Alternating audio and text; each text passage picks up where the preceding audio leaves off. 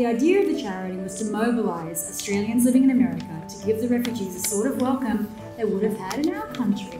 Tonight mm-hmm. will be used to create educational and vocational training. Um, this will allow refugees to escape the dreadful cycle of poverty and hopefully fulfil their dreams. So be proud, be Australian, donate. Thank you for coming. Like most Australians in the room tonight, know how hard it is to build a life in a foreign country. And I just couldn't imagine what it would be like for these refugees to build a life here. So clearly there was a need to help and clearly from everyone in the room here today, there were Australians and Americans who were ready to step up and to give that help. My thanks to everyone for being here tonight and showing your support to refugees who are imprisoned on Manus Island and Nauru.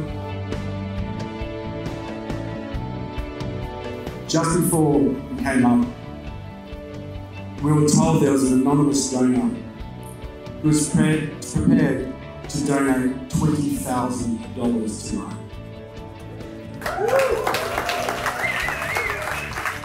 Awesome, $1,000 donation, 200, Sherwin. That's the total. 20,000!